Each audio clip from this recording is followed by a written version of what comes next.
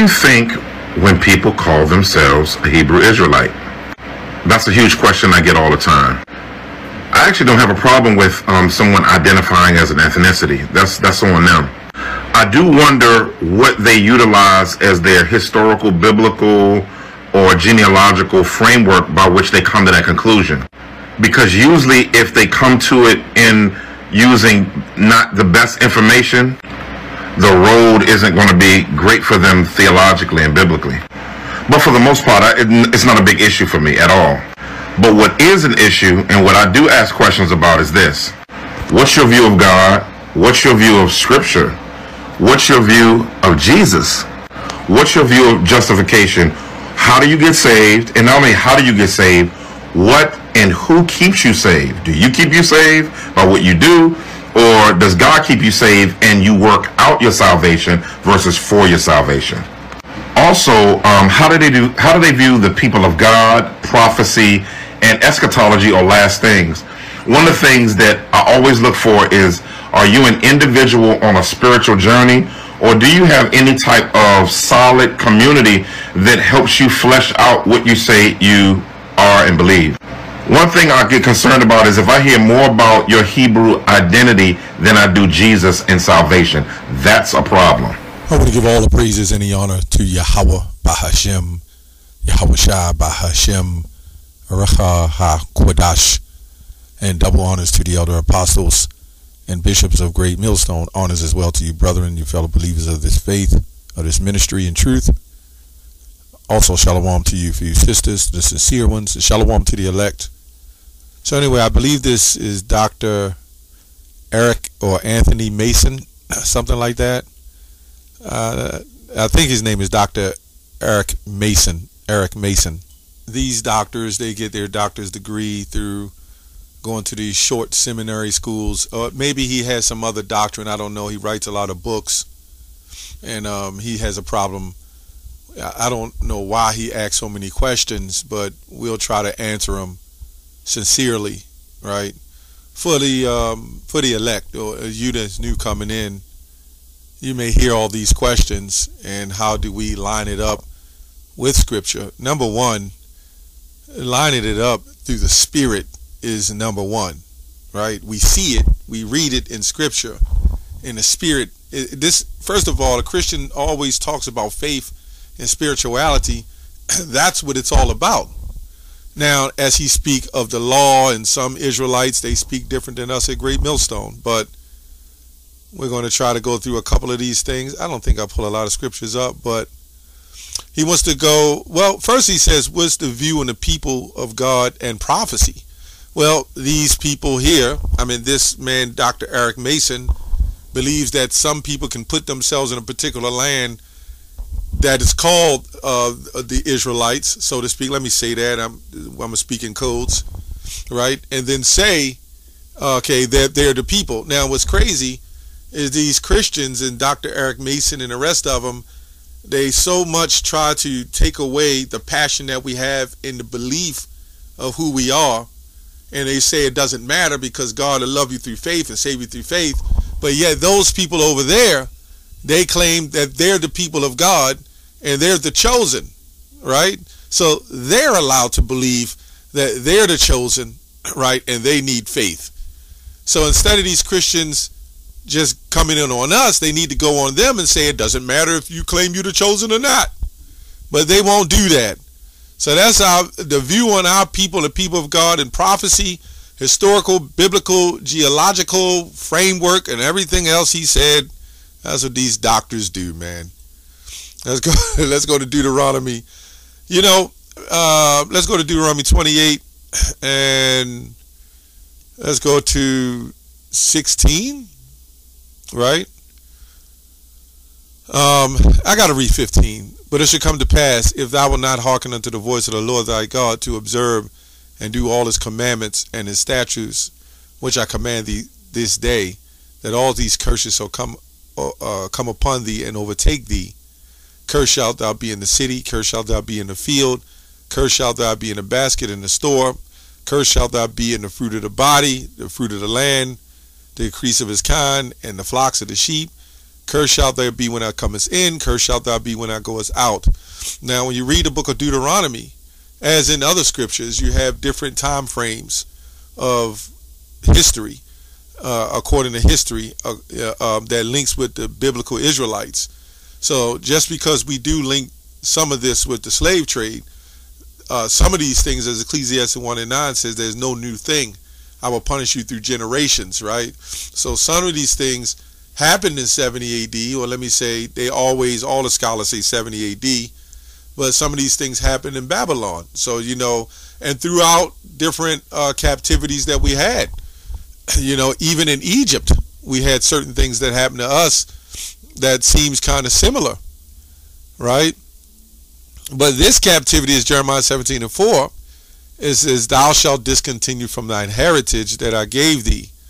So now we go to Deuteronomy 28 and 48, and then we're going to get to the point. Uh, it says, Therefore shalt thou serve thine enemies, which the Lord shall send against thee in hunger and thirst, and in, in nakedness and in want of all things. And he shall put a yoke of iron upon thy neck until he have destroyed thee. Right? So we see this happen in the captivity of our captivity uh, coming into America, but you see these things uh, repeat themselves, right? Which would have happened in the past, right?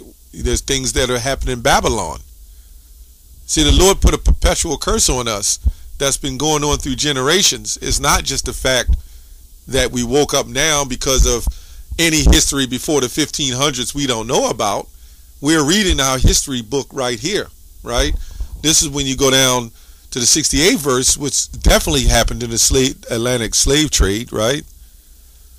You know, and the Lord shall bring thee into Egypt again with ships, right? Now, when going into this, uh, everybody wants to say uh, that's not it's not biblical. It has nothing to do with you. And this is our own people. Our own people know that they've been lied to. They lied. They've been lied to about the history, right? uh, a lot of people have woken up to the fact that this has to be us, right? You don't see other people going around saying that they were born on slave ships. They don't say it. And the fact that, um, let's say that's the case in 70 AD and they were sold on ships, the word ships wouldn't even have to be mentioned because it was so close. I'm just saying if they did take ships.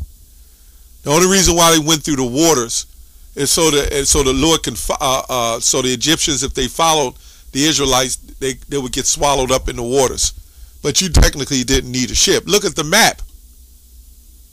So if anybody caught any torture, right, of any kind on a ship, you immediately go to the transatlantic slave trade, right?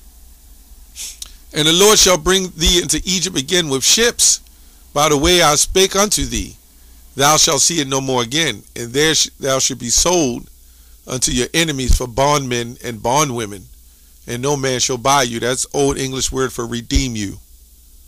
Now, some translators they translated and said that you should sell yourselves, you should offer yourselves up to slavery. I don't know who offers themselves up to be slaves, but this is what they say. And they're trying to do everything uh, to erase you know everything that we've taught everything we found out you christians haven't done a good job at raising the people all you told them to do is pray to the white jesus who slept with his sister whose father jumped in and tag team rodrigo and uh, they both had sex with his sister and daughter you know this is what you people worship and now that we found you you know that he's not not him you have an issue and say now it doesn't matter. But it mattered when we was following him as a white man. So you can see the mindset of Christians and mainly the black Christian. The black Christian uh, has become comfortable in this uh, captivity, right? So they don't want they don't want you to wake up, and that's that's the big issue. They and some of them are paid, some of them are agents. Uh, you got this guy Jephthah from One Body who says the, the slave ships never existed. Who was there taking pictures? Right? Yeah, just like the moon landing, they had pictures of that, but nobody was uh, who took the pictures of that. But when you go back, you had photography, right? You had people who painted, right? So when you look at all the history, now if you got a question if there were slave ships, now you got to question all the things that happened in the Bible. How do we know that's true? This is my next point, right? How do we get saved? This is uh, uh, Dr. Eric Mason is saying. How do you get saved, and and um, how do you identify with? Um, he said being a Hebrew Israelite, right? Identifying with a Hebrew Israelite more than Jesus is a problem. Now I don't understand that part either, because let's go here. I don't understand why he even said something like that. Revelation 22 and 16. I, Yahushua, have seen mine angel. See, the whole point of identifying with the Hebrew Israelites, right, being a Hebrew Israelite, is, is the Messiah and the Father. That is the whole point. Of course, we identify with Yahweh and Yahushua more so than anything. But that's all in unison together. That's why we don't need to wear fringes everywhere we go. Right? Some groups believe you got to wear fringes all the time everywhere you go. Well, the rem- the fringes was worn for a remembrance of our heritage. Right? That's what that was for. But the Messiah came and now we have a remembrance of the Yah- of Yahweh. That's our remembrance. That's our savior. The law is not our savior. Right? We know that sin is transgression of the law. So we do follow the law. We're not saying not to follow the law. But what's bigger than the law is um, being saved and through Yahweh. So we go to um, how do we know? How uh, I believe he asked something about um, what do you do to get saved? You know, something like that. Well, let's go to let me go to Ephesians maybe.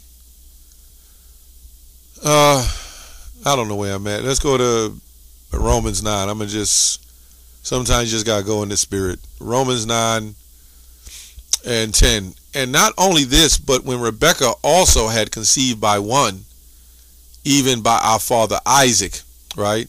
For the children being not yet born, talking about Jacob and Esau, neither having done any good or evil for the purpose of God, according to the election might stand, not of works, but of him that calleth right? So at the end of the day, what do you do to get salvation?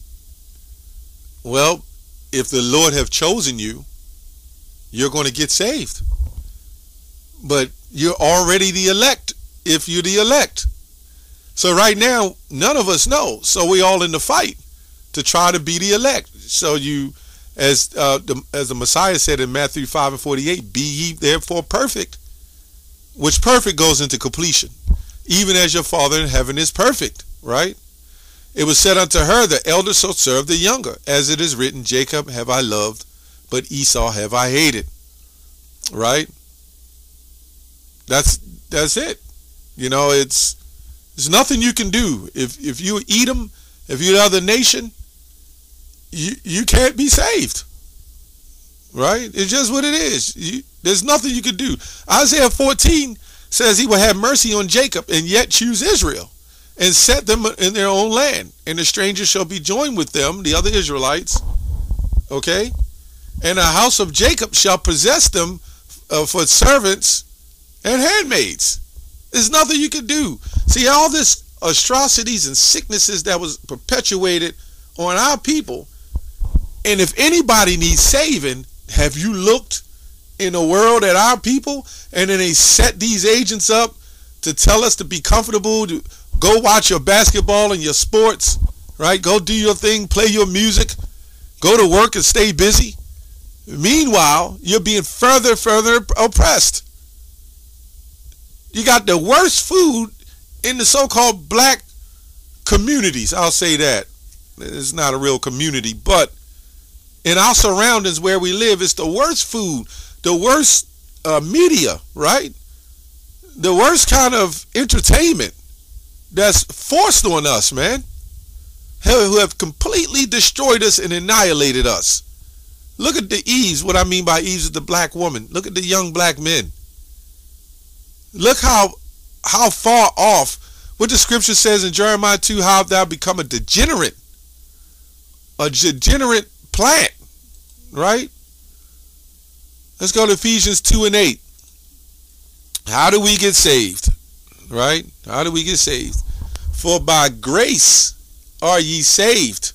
This means you can't keep the whole law. That's why you're saved through grace. You need grace to be saved. If you could keep the whole law, you wouldn't need grace. Right? For by grace we are saved. And what does it say? Through faith. That's how you're saved.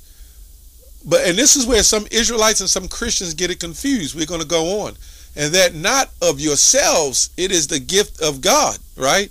Not of works, lest any man should boast. But does this mean, as in James 2, faith without works is dead? Does this mean uh, you don't have works? No, you still have to have works. The reason why I said not of works, because you can't get saved on just works. You have to get saved on belief right? This is why Revelation 2 and 10, as I keep quoting, it says, uh, um, basically, be faithful unto death, and I will give thee the crown of life. That's what he said. Be faithful unto death. And the only way we're going to get saved is through our Messiah, Yahushua.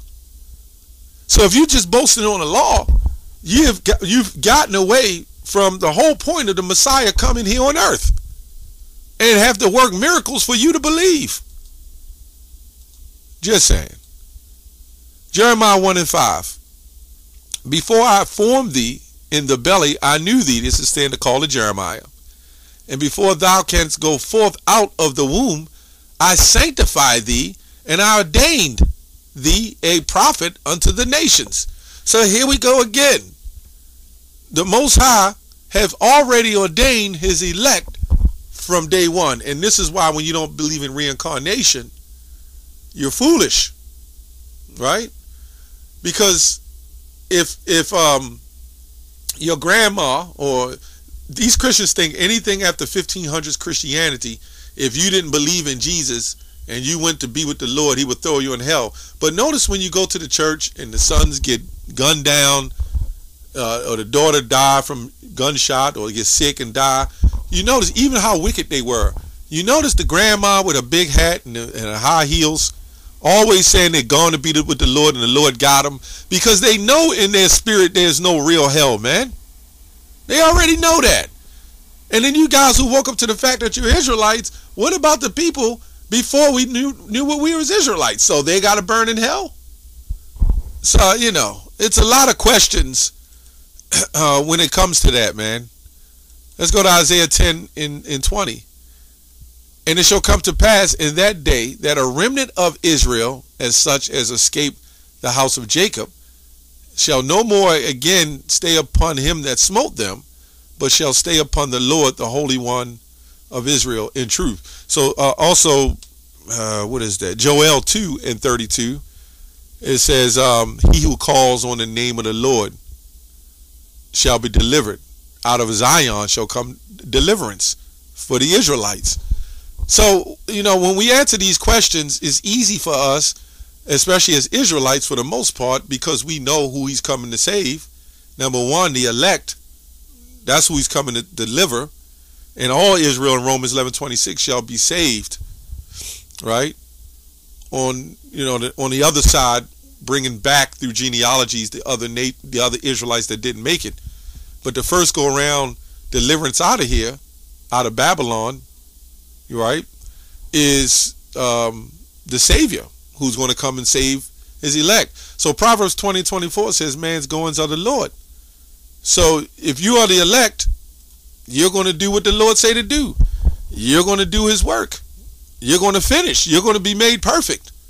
That's all we can do. These Christians believe that your salvation isn't set but when you do wake up and believe in Jesus, now your sa- salvation is guaranteed. And that's absolutely false.